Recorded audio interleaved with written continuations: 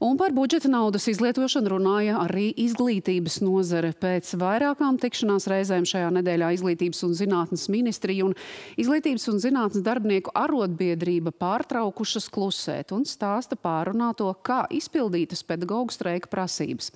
Izglītības ministra apgalvo, ka ar papildus piešķirto naudu pietiks, bet arotbiedrība tik pārliecināta nav.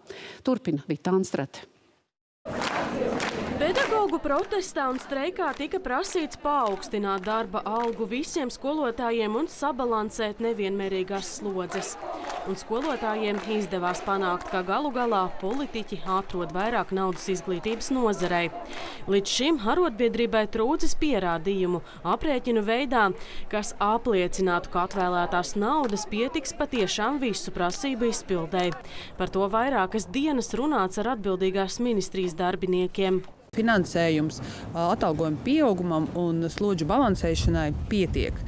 Uzreiz viena tāda svarīga lieta, ka lielākā daļa tieši šī finansējuma novirzās slodžu balansēšanai, jo mēs redzam, un caur šiem datiem arī labi parādās, ka tieši vispārējā izglītībā vislielākais trūkums ir tieši šajā slodžu nu, pārslodzē, teiksim tā. No 1. septembra dotācijas apjoms vidēji pašvaldībās pieaug par 17,4%.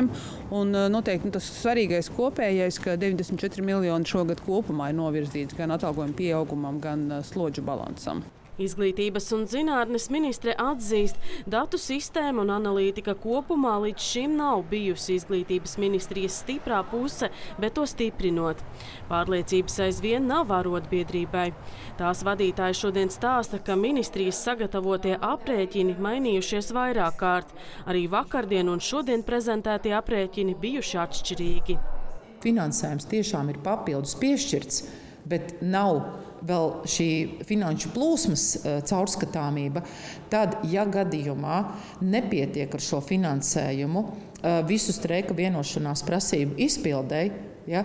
Jo šobrīd mēs nevaram galvot, ka nepietiek. Nevaram tiešām un nevaram pateikt, ka pilnībā pietiek. Ja? Turpināsim darbu, un ja gadījumā tiks konstatēts, ka rudenī sadalot reāli praksē šo mērķutāciju nepietiek, tad padome uzskata, ka tad šādā gadījumā nozares ministram ir pašam jāatkāpjas. Vanaga tāpat atklāja, ka sarunas, ejot cauri detalizētiem aprēķiniem, turpināsies nākamnedēļ. Vita Anstrate, Egars Kovaļevskis, Latvijas televīzija.